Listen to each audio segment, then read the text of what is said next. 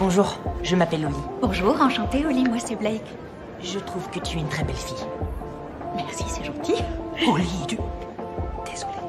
Tu te rappelles, tu te rappelles la discussion qu'on a eue? Rester sagement assis et ne pas parler. Ça ne se fait pas d'emmener son petit frère à un entretien d'embauche. Alors, cesse de m'embarrasser, d'accord? Ça ne t'ennuie pas de me donner ton numéro pour lui? Oli C'est exactement... Quoi? Tu ne vas jamais lui demander Et ensuite tu vas être là à me rabâcher sans arrêt que tu regrettes